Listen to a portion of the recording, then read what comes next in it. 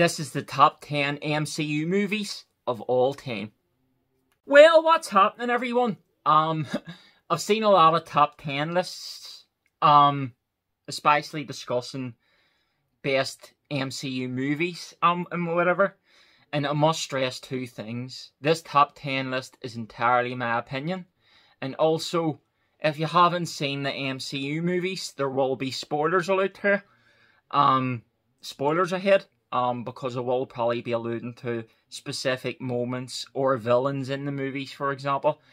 Um, so yeah, just a warning that spoiler alert is in effect here. Um, and also, this is probably a spoiler spoiler alert for this actual top ten video.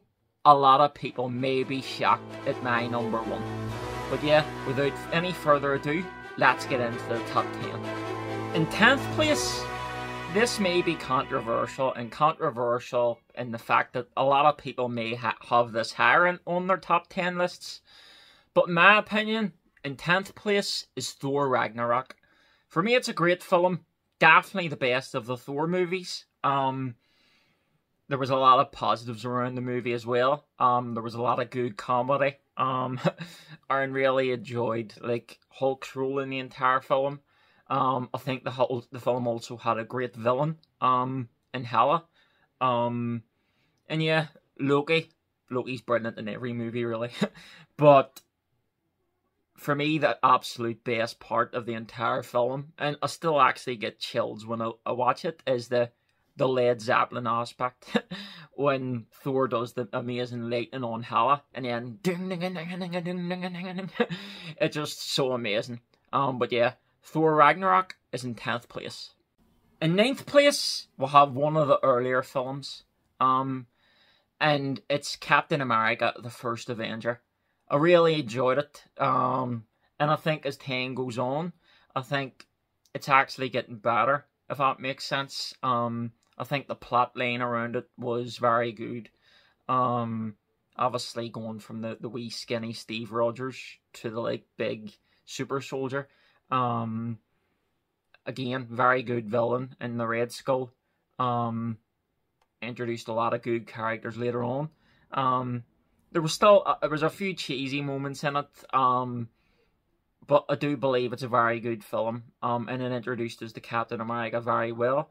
Um, and yeah, I think moving forward in time, I think the film will also get better recognition than probably what it does. But it's my number nine. In number 8, we'll have Guardians of the Galaxy Volume 1. Um, I really like, I'm not going to say I really like them all, but I like all the Guardians of the Galaxy movies. I thought part 2 was probably, Volume 2 was probably unlucky not to get in. Um, the top 10, uh, I really liked it. Um, but I still think Guardians of the Galaxy Volume 1 is the best of the Guardians films. Um, probably like a lot of people who was into like comics and superhero movies and stuff like that. I'm a superhero memorabilia collector. I didn't really necessarily know a lot about the Guardians of the Galaxy, but obviously they're very well known now. Um, and I really enjoyed the film. Some great comedy in it, great comedy in it. Um, the characters like Drax, Star Lord, Rocket, I am Groot. um, yeah, and Gamora, amazing um, and also the action in the entire movie, the comedy, a lot of great things. And the only thing for me that sort of lets it down though is the villain. I don't think the villain was that great um, in Ronan. I think the obviously the villains as time went on in the, the next Guardians of the Galaxy movies. Um, Peter Quill's father and whatever um, was much better villains than the first one, but overall, I do think the first Guardians film is the best one of them, and it's number 8 in my list. In 7th place, we'll have the first Avengers film, and looking back on it now, the graphics aren't as probably good as what we actually thought they were back then, especially the like aliens, um, the Chitauri. They don't really look that great now. Um, but it's still an unbelievable movie, let's face it. Um, action the whole way through it. The dialogue between the main actors, Thor, Hulk, Hawkeye, Captain America, Iron Man, Black Widow, um, even Loki. The dialogue was there. Everything about the movie was great. Um, action packed, as I say. Um, and it just set up things as well. Moving on, there was a lot of like Easter eggs in the film, potential plot lines linking on from it. Um, and I think that's what made the original MCU because this will take another video. Like it seems all over the place at the minute, but you could really clearly see what they were planning with those original films was to introduce like so Thor, Iron Man, Captain America with their own movies, and then bring them together into one like super film. And I think the first Avengers worked brilliantly. Um, as I say, it only get bigger from them, but in terms of like an entry film for the first Avengers film, I think it was top draw.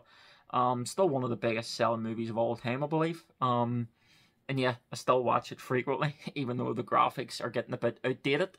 But yeah, it's number seven on my list. In number six, we'll have what many people would consider another Avengers film, even though it isn't an Avengers film.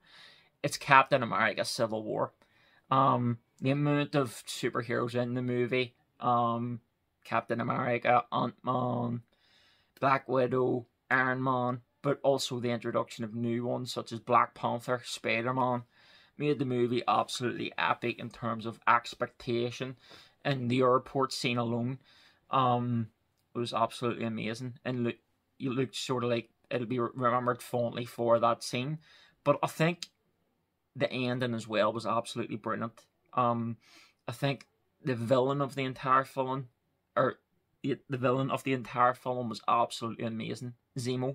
Um, considering he had no superpowers or whatever like that, he just outwitted the entire like Avengers, and it's actually probably one of the only occasions where the villain actually, you could argue, actually wins. Um, um, so we definitely want to see more of Zemo, but I think the ending, bringing the the Captain America versus Iron Man versus the Winter Soldier was absolutely brilliant. Um, and obviously led on to like the split, which was the common other movies. Um, Captain America, Civil War, still amazing, and it, will stand the test of time as well. Um, there's no real grapes with it whatsoever. I can't really think of any. Um, to be honest, as I say, it was like an Avengers movie. You could argue it was like the original Avengers 3, um, even though it wasn't in the title. But yeah, absolutely loved it, and I don't know what anybody else thinks. For me, it's number six though. And now we're into our top five. And this may shock a lot of people, but I'm going Avengers Endgame in number five.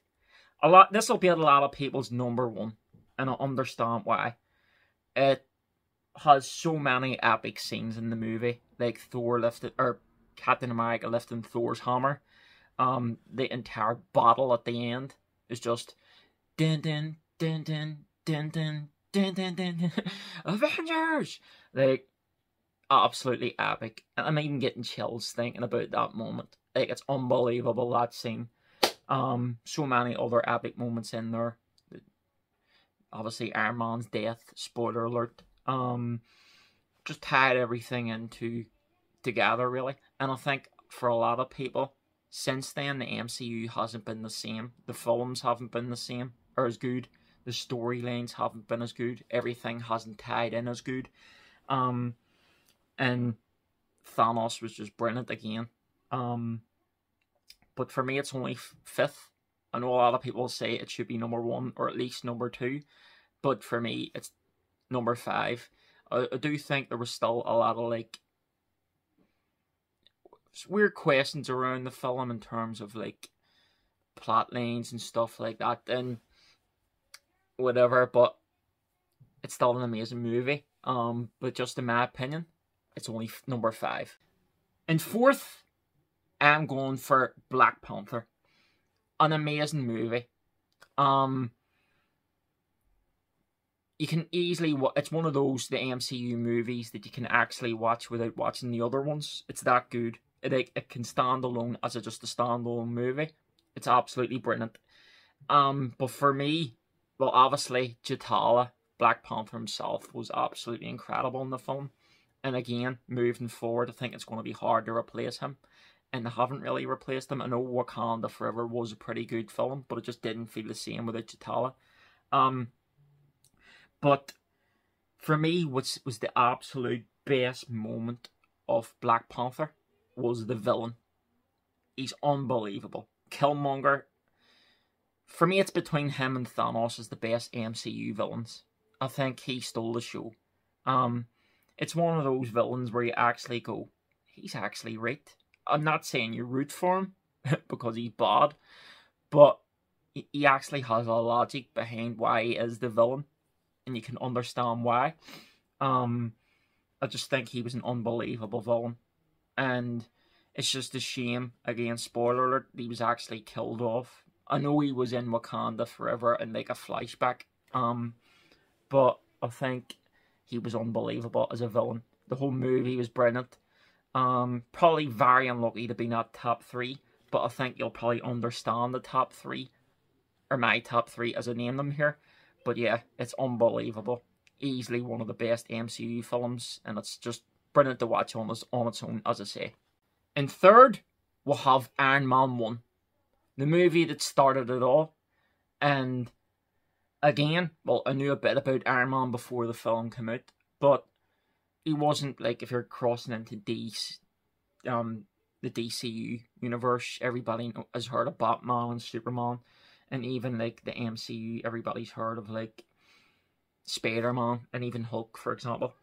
But only the like dedicated superhero fans will know about Iron Man. So it was sort of a risk bringing out the film but for me it was absolutely brilliant. The casting, I know like there was changes in War Machine. I'm not going to get into that, but the casting of Robert Downey Jr. as Iron Man was just for me the best. The the only comparison I could have, well, there's a lot of comparisons. Chris Evans as Captain America is unbelievable, but the only Jan and Loki, I'll say that as well. Loki, like it'll take hard to to really cast a better Loki than him. But the only other comparison for actor that I compare to Robert Downey Jr. um is Iron Man, is Hugh Jackman as Wolverine. I just think they, those two are like were absolutely perfect for their roles. Robert Downey Jr. as Tony Stark was just unbelievable, and I think the part one movie not only did it set up the entire MCU building on. It's a brilliant movie as well. I think the villain, I, I just love the part where the villain goes, Tony Stark built this in a cave with a bunch of scraps.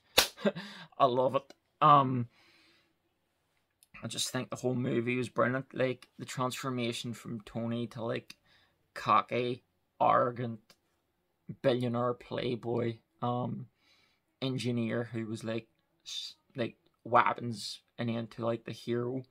He's still like the cocky, brash billionaire, but obviously good intentions. And then obviously later on and like Avengers Endgame, as already mentioned, he died. But I just think as the first movie in the entire MCU, it set up everything brilliantly. And that's for me, it's why it's top three, but only third. And now we're into the top two.